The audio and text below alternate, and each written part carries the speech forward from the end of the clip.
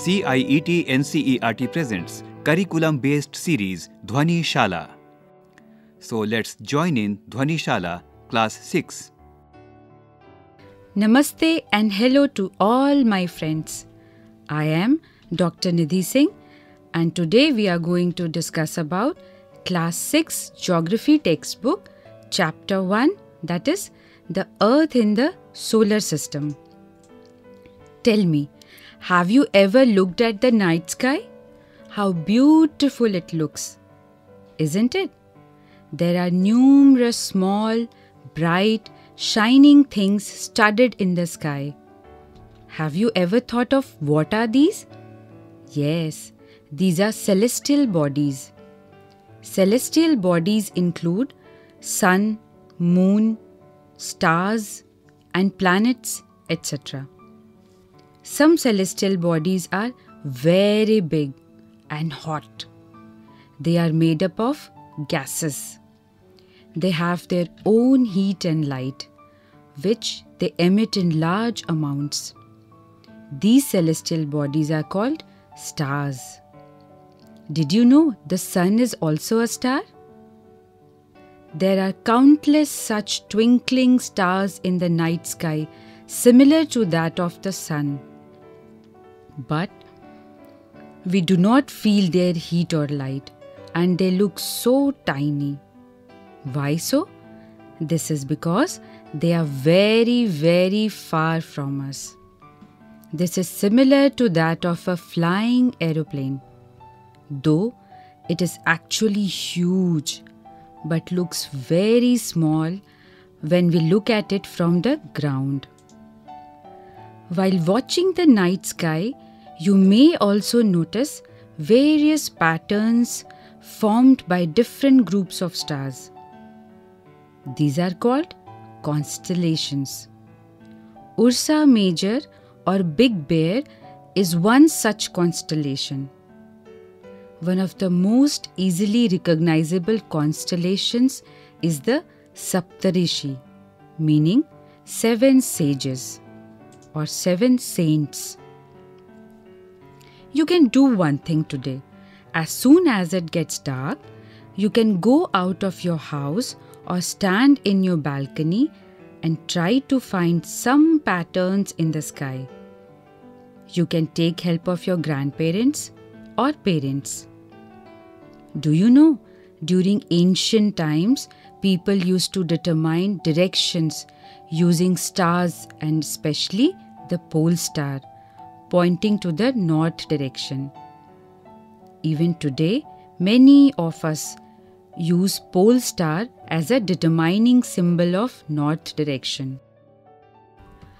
Apart from the twinkling bodies in the sky, there are also some shiny bodies that do not twinkle or they do not flicker. These are planets. Planets do not have their own heat and light. Rather, they are lit by the lights of the stars. Can you think of a name of a planet? Yes, our Earth itself is a planet. Even our Earth will look shiny if we look at it from a very far distance. Like our Earth, there are other seven planets in our solar system that get light from the star called Sun. We will be discussing about the solar system after this. The word planet comes from the Greek word planetai, which means wanderers. The earth on which we live is a planet. It gets all its heat and light from the sun, which is our nearest star. If we look at the earth from a great distance, as I said, it will appear to be shining just as the moon. The moon that we see in the sky is a satellite.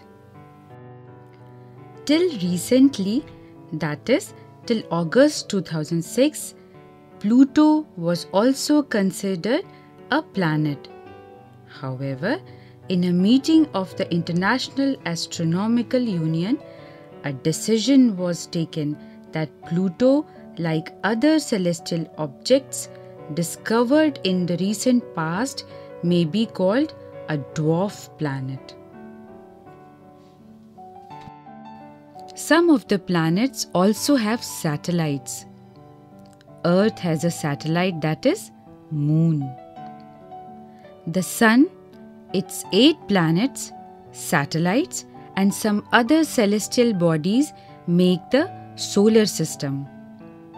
If we consider solar system as a family, then the sun is like the head of the family.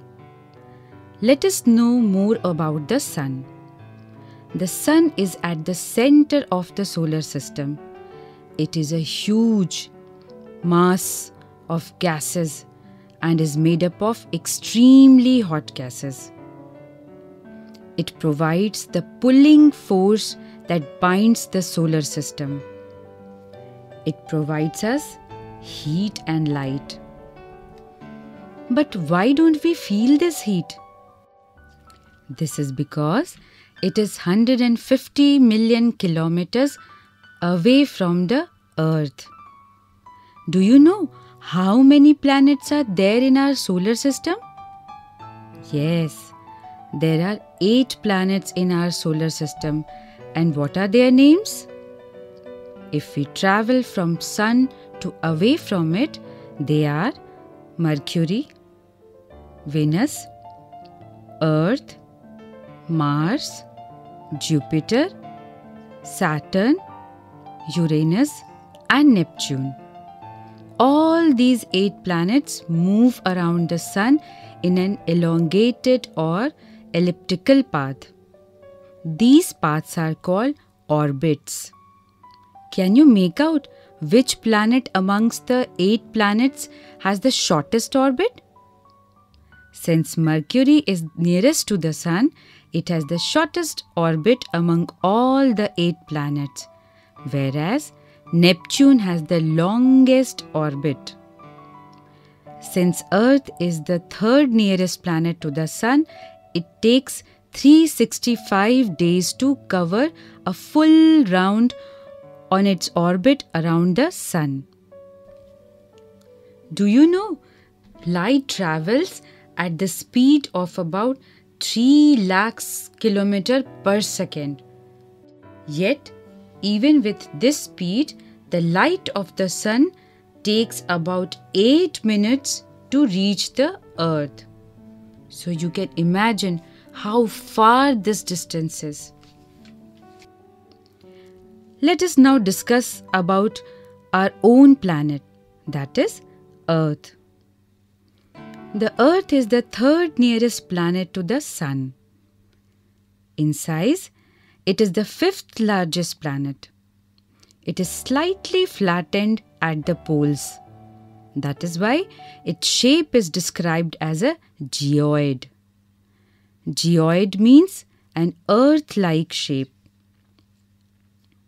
As per our knowledge, the favorable conditions to sustain life are found in the earth only. Can you think why so? Yes, since it is neither too far nor too close to sun therefore it is neither too cold nor too hot. It has water and air which are very essential for our survival. The air has life supporting gases like oxygen. Because of these reasons the earth is also called a unique planet in the solar system. Do you know how does the earth looks like from the outer space?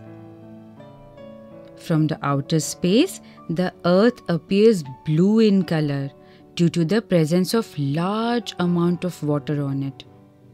Because of its blue color, it is also known as a blue planet. When you were kids, you must have heard bedtime songs or loris with the mention of moon.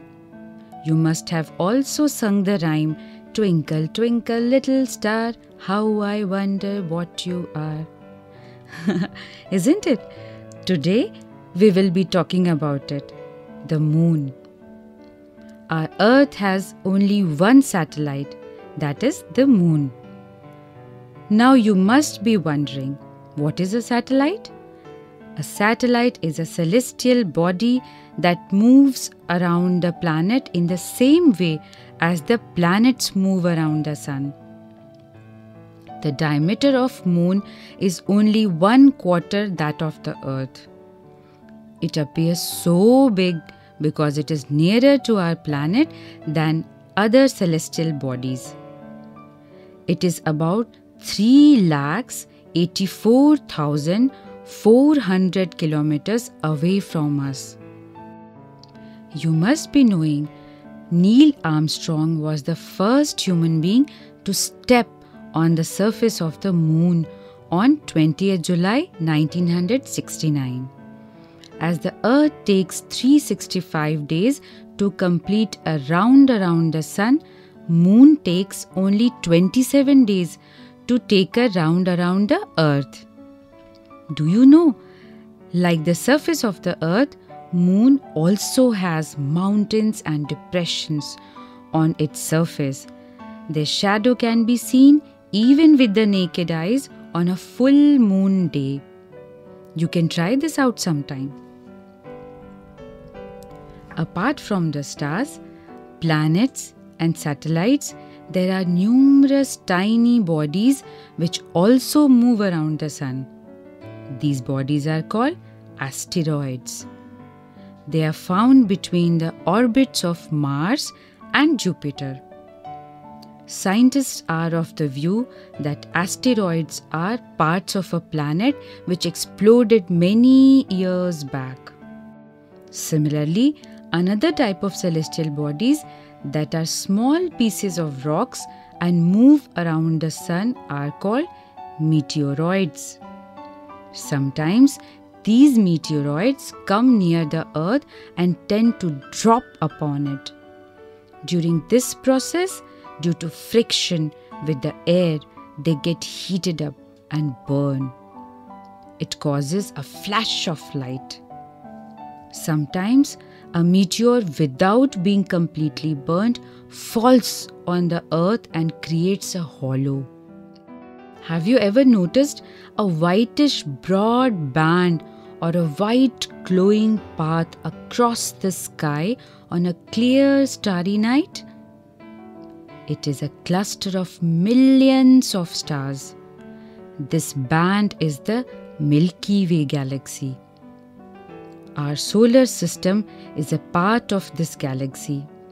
In ancient India, it was imagined to be a river of light flowing in the sky. Thus, it was named Akash Ganga. A galaxy is a huge system of billions of stars and clouds of dust and gases. There are millions of such galaxies that make the universe. This means that the universe has several galaxies in it, and Milky Way is one such galaxy. Within Milky Way, our solar system is there, and within the solar system, our Earth is located where we all live.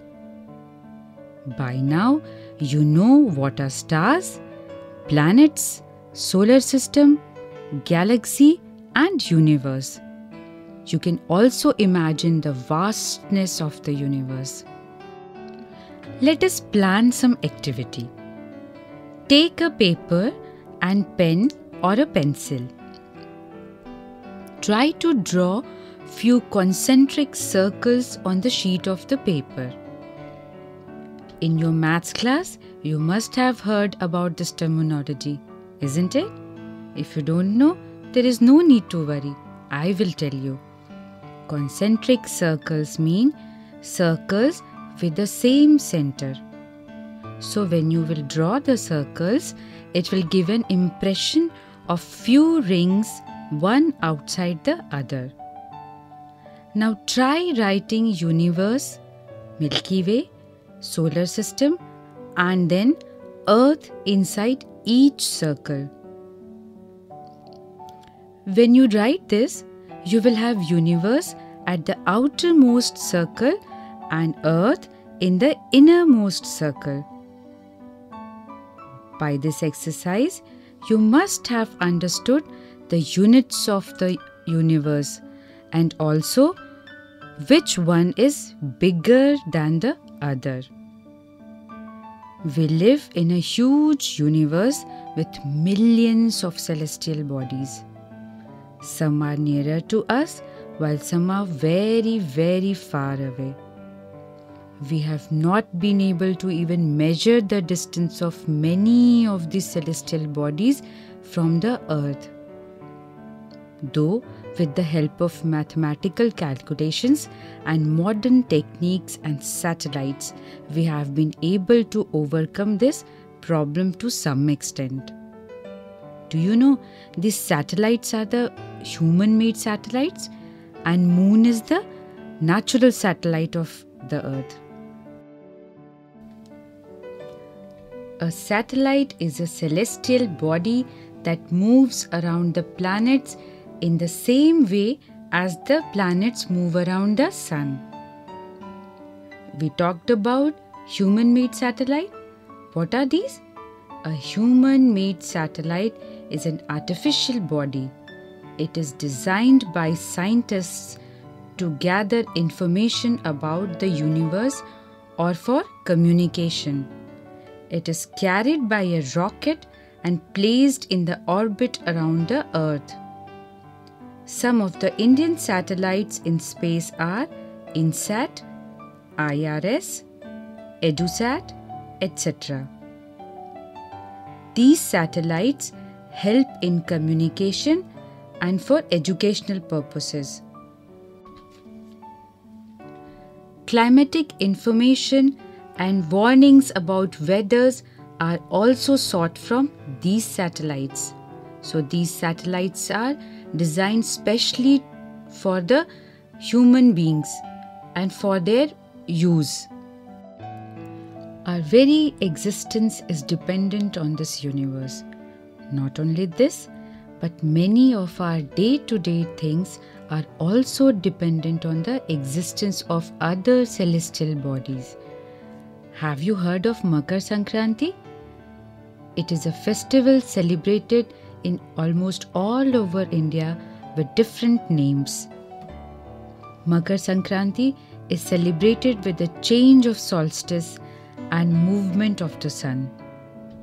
We celebrate it by eating jaggery or gur, poha or chuda, and curd. Sesame seeds or til is also eaten in various parts of the country during this festival. Can you think of some other festival that is celebrated in India which has a dependency on some of the other celestial bodies? Yes, Eid is another festival of this kind that we celebrate with the help of a celestial body, that is, moon.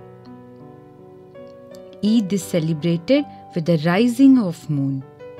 We celebrate it by eating sweet dishes and by wishing and hugging each other. There have been many Hindi songs written on moon and when one looks beautiful, we tend to compare the beauty with that of the moon, isn't it?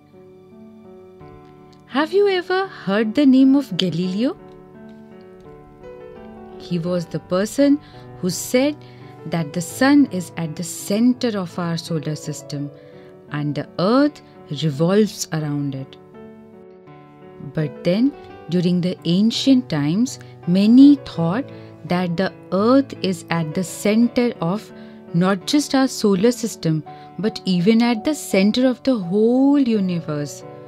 Due to this reason, many refused the concept of Galileo and he was even criticized a lot for this. Later, Galileo's saying was found to be true.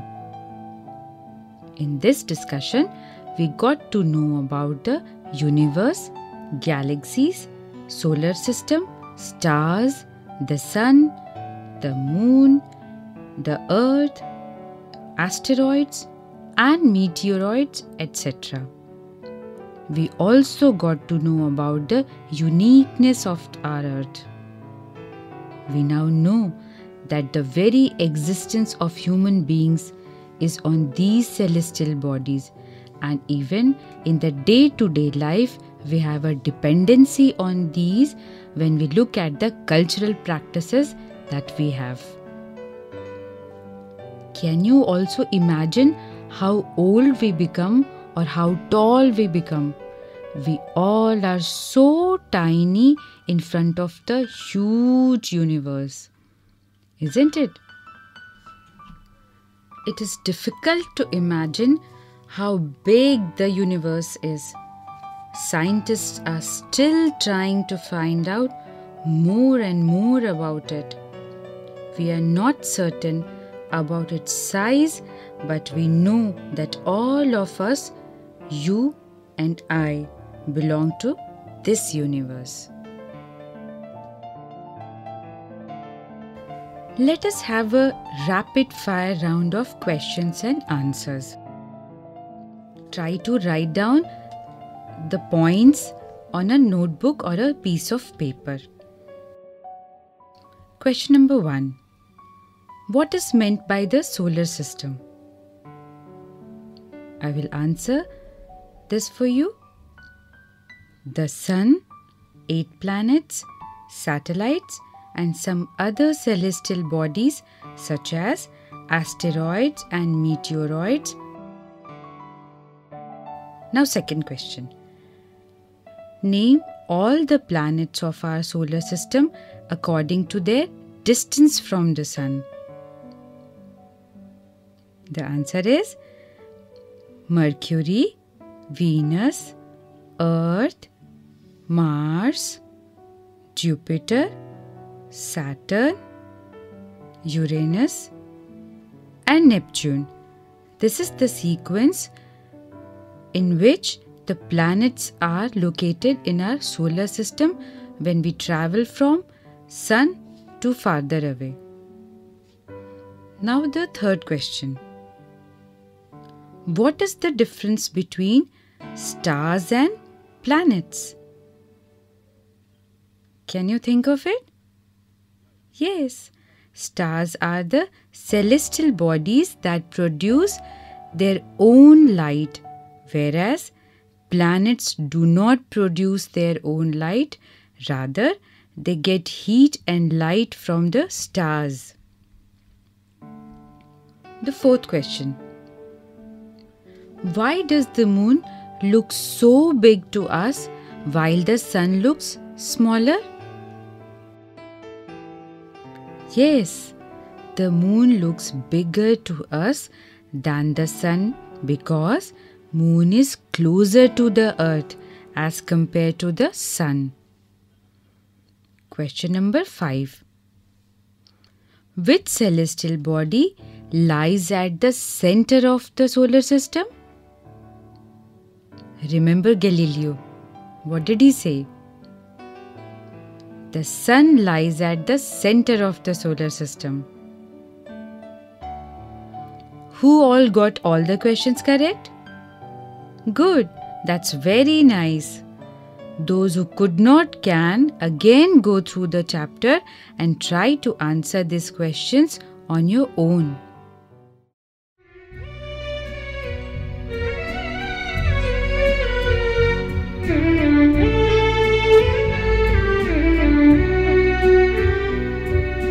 Friends, now I will discuss with you what happens with me.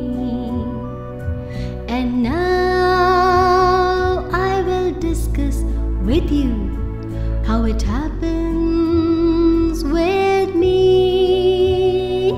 Friends, now I will discuss with you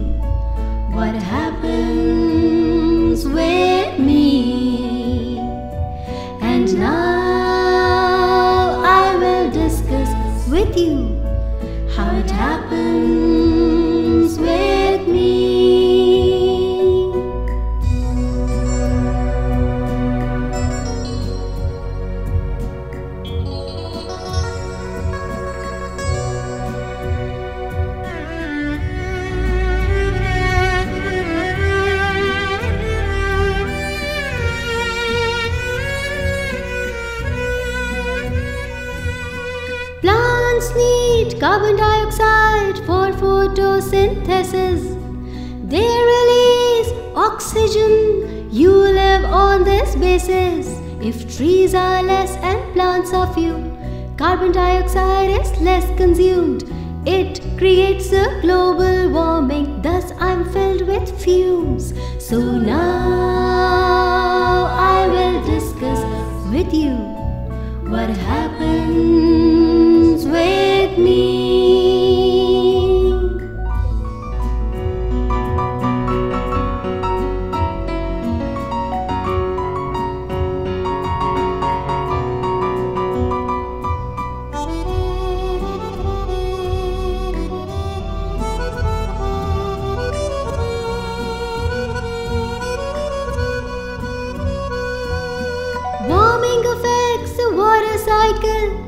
Reduce rainfall. It will change the soil's property, it affects you all. Jungle is the habitat of wildlife and trees.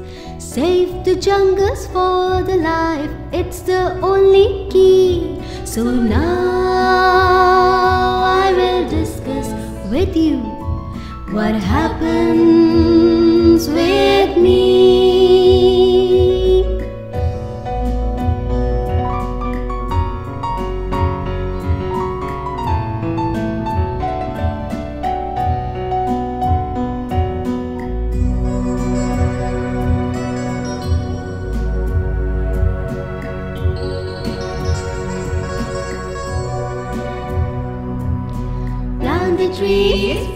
The trees, flood the earth with trees. Plant the trees, plant the trees, flood the earth with trees. If you do this with endeavor, you will be set free. If you do this with endeavor, you will be set free. We will be set free. We will be set free. We will